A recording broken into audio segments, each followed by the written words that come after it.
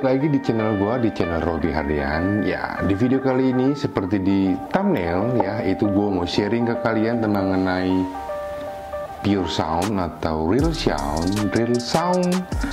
Kalau pure sound kan biasanya kan dibawa ya, cuman yang ini enggak. Jadi gua hanya sharing ke kalian karena gue dapat kesempatan dari si bos, kemudian juga dari bos bengkel juga ya jadi gue bikin ini video gue sharing ke kalian semua jadi biar kalian juga tahu itu suaranya itu gimana dan yang penasaran stay tune terus di video ini karena kita akan langsung ke bengkel guys oke okay? Eits, tapi sebelum itu buat kalian-kalian yang baru lihat ini video dan baru tahu ini channel boleh dong di like atau di subscribe oke okay? stay tune terus go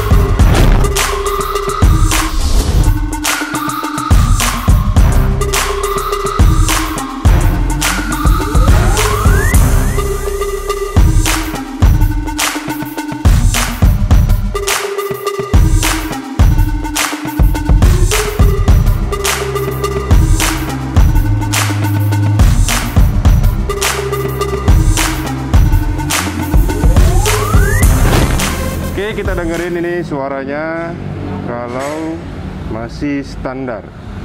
Ya suara dari ZX10R yang baru itu dia seperti apa? Ayo! Nah ya.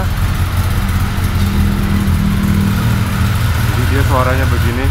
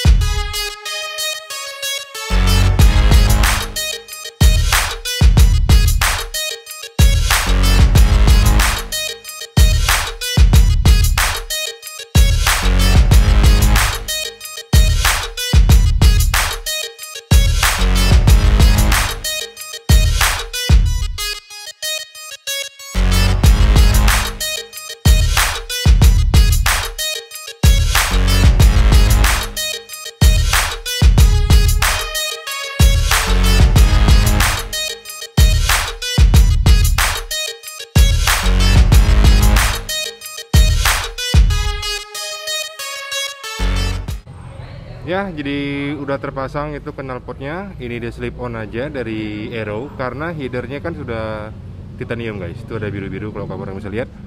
Oke kita dengerin aja suaranya